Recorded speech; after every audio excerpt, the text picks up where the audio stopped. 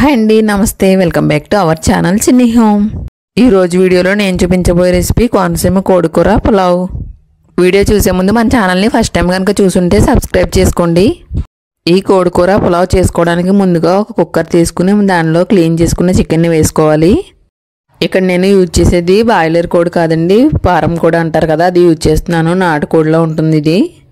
ఇలా పసుపు వేసుకున్న చికెన్ని కుక్కర్ గిన్నెలో వేసుకుని దానిలోకి one glass of water add చేసుకోవాలి. నాకు ఇక్కడ చికెన్తో పాటు గుడ్లు వచ్చాయండి. వీటిని అయితే కుక్కర్లో పెట్టుకోకూడదు. సెపరేట్గా వేరే బౌల్లోకి తీసుకుని పక్కన పెట్టుకోవాలి. వాటర్ వేసుకున్న తర్వాత కుక్కర్ మూత పెట్టి మూడు నుంచి నాలుగు విజిల్స్ వచ్చే వరకు ఉడికించుకోవాలి. మరీ ఎక్కువగా ఉడికించకూడదండి. కర్రీ వండేటప్పుడు మళ్ళీ ఉడుకుతుంది కాబట్టి సో ఇక్కడ త్రీ ఫోర్ విజిల్స్ వస్తే సరిపోతుంది. తర్వాత మసాలా ప్రిపేర్ చేయడం కోసం స్టవ్ వెలిగించి ప్యాన్ పెట్టుకుని దానిలోకి నాలుగు చెక్కలు మూడు ఇలాచి ఐదు నుంచి ఆరు లవంగాలు కొద్దిగా రాతి పువ్వు వేసుకుని బాగా ఫ్రై చేసుకోవాలి. రాతి పువ్వు లేకపోతే స్కిప్ చేయండి. ఇవన్నీ కూడా సిమ్లో పెట్టుకుని బాగా ఫ్రై చేసుకోవాలి. తర్వాత దీనిలో టూ టేబుల్ స్పూన్ ధనియాలు హాఫ్ టేబుల్ స్పూన్ జీలకర్ర వేసుకుని ఫ్రై చేసుకోవాలి. ఇవన్నీ కూడా సిమ్లోనే పెట్టుకుని వేయించుకోవాలండి. మాడిపోతే బాగా స్మెల్ వచ్చేస్తుంది అనమాట మసాలా అంత బాగోదు. ఇలా అన్నీ కూడా దోరగా వేయించుకున్న తర్వాత స్టవ్ ఆఫ్ చేసుకుని ఇవన్నీ చల్లారిన తర్వాత మిక్సీ పట్టుకుని పక్కన పెట్టుకోవాలి. తర్వాత పులావ్ చేయడానికి సరిపడినన్ని బియ్యాన్ని కొలిచి తీసుకుని బాగా కడిగి అరగంట పాటు నానబెట్టుకోవాలి. ఇక్కడ నేనైతే నార్మల్ రైసే యూజ్ చేస్తున్నానండి. నేను పులావ్స్కి అయితే ఈ రైసే యూజ్ చేస్తాను. దమ్ బిర్యానీ అవి చేసేటప్పుడు మాత్రమే బాస్మతి రైస్ వాడతాను. మీకు ఏ రైస్ ఇష్టం ఉంటే ఆ రైస్ని బాగా కడిగి అరగంట పాటు నానబెట్టుకోవాలి. తర్వాత కర్రీ చేయడానికి స్టవ్ వెలిగించి ప్యాన్ పెట్టుకుని ఆయిల్ వేసుకుని దానిలోకి పొడవుగా కట్ చేసుకున్న ఉల్లిపాయలు పచ్చిమిర్చి ముక్కలు వేసుకోవాలి. మనం డైలీగా కర్రీస్కి వాడతాం కదా చిన్న చిన్న ముక్కలు ఉల్లిపాయలు అలా కంటే ఇలా కట్ చేసుకుంటే ఈ చికెన్ కర్రీలోకి చాలా బాగుంటుంది. ఉల్లిపాయలు అన్నీ బాగా వేగిన తర్వాత దీనిలోకి వన్ టేబుల్ స్పూన్ అల్లం వెల్లుల్లి పేస్ట్ వేసుకుని బాగా కలుపుకోవాలి. తర్వాత దీనిలోకి పావు టేబుల్ స్పూన్ పసుపు కూడా వేసుకుని బాగా కలుపుకుని మరొక నిమిషం పాటు ఫ్రై చేసుకోవాలి. తర్వాత దీనిలోకి ఉడికించుకున్న చికెన్ని వేసుకోవాలి. వాటర్ వేయకుండా చికెన్ మాత్రమే సెపరేట్ చేసుకుని వేసుకోవాలండి. చికెన్ మొత్తం వేసుకున్న తర్వాత మొత్తం అన్నీ కూడా మిక్స్ అయ్యేటట్టు బాగా కలుపుకుని రెండు నిమిషాల పాటు సిమ్లో మగ్గించుకోవాలి మూత పెట్టి. తర్వాత మూత తీసుకుని మరలా ఒకసారి అంతా కూడా బాగా కలుపుకున్న తర్వాత దీనిలోకి టేస్ట్కి సరిపడగా కారం వేసుకోవాలి. ఇక్కడ నేను one and half tablespoon వేసాను తర్వాత దీనిలోకి మనం ముందుగా ప్రిపేర్ చేసుకున్న మసాలా పౌడర్ను one and half tablespoon వేసుకోవాలి. అలాగే టేస్ట్కి సరిపడగా సాల్ట్ కూడా వేసుకుని అన్నీ కూడా మొత్తం బాగా కలుపుకోవాలి. ఒక నిమిషం పాటు మగ్గించుకోవాలి.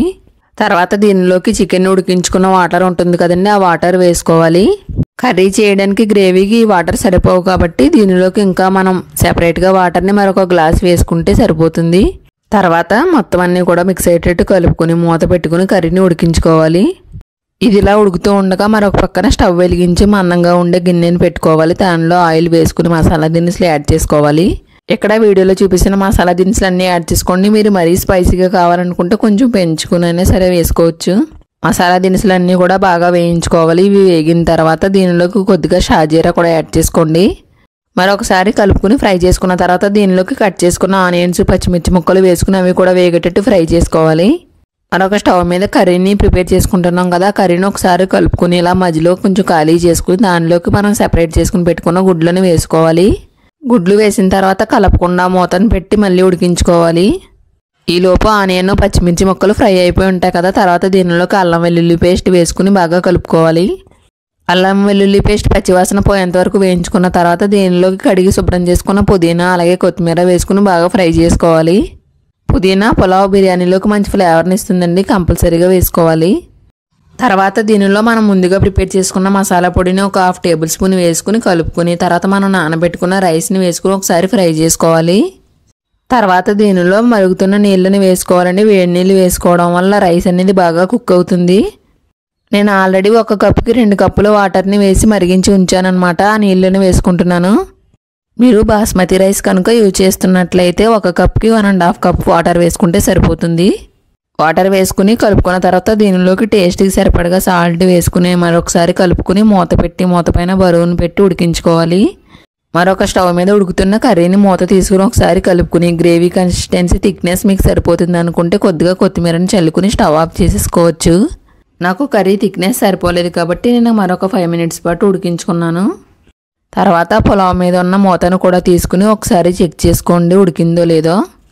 నేను వేసిన వాటర్కి పులావ్ కరెక్ట్గా కుక్ అయిపోయిందండి. ఎవరికైనా కానీ ఇంకా ఉడకలేదు పలుకుగా ఉందని అనుకుంటే కనుక కొద్దిగా వేడి నీళ్ళు వేసుకుని మరి కొంతసేపు ఉడికించుకోవచ్చు. తర్వాత ఒక బౌల్ తీసుకుని దానిలో అడుగున కర్రీని వేసుకుని దానిపైన మొత్తం కూడా పులావ్ని వేసుకోవాలి. తర్వాత దాని మీద ఒక ప్లేట్ని పెట్టుకుని రివర్స్ చేసుకుంటే ఎంతో టేస్టీగా ఉండే కోడి పులావ్ రెడీ. వీడియో కనుక నచ్చితే తప్పకుండా లైక్ చేసి మన ఛానల్ని సబ్స్క్రైబ్ చేసుకోండి. థ్యాంక్